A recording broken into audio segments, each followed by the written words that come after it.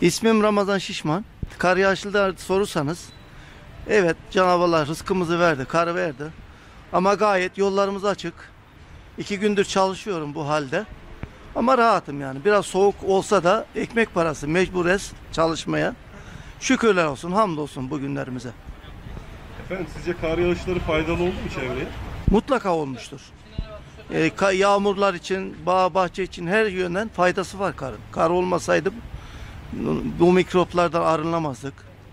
O koronavirüs dedikleri tabii ki biraz kırılabilir, ölebilir inşallah.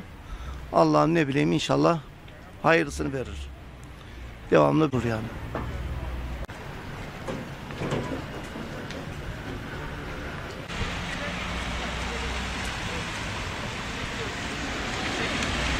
Abi güzel bereketli oldu. Tabii yollarda kar var şu anda. Ha, belediye çalışıyor ama ara sokaklarda sorunlar var tabii. Ne gibi? E, o kürücüler gelmiyor.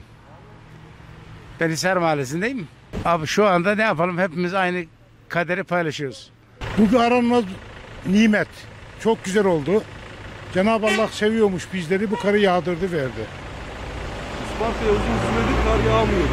Sizce çevreye, e, toprağa faydalı oldu mu? Olmaz olur mu? Her şeyimiz bu. Nimet bu. Bulunmaz bir nimet. Kar yağdığında rahatsız olunacak bir şey yok. Bir büyüklerimizin bir sözü vardır. Kar yağdığı gün tozur. Olacak. Nimet bu. Bundan şikayetçi olunmaz.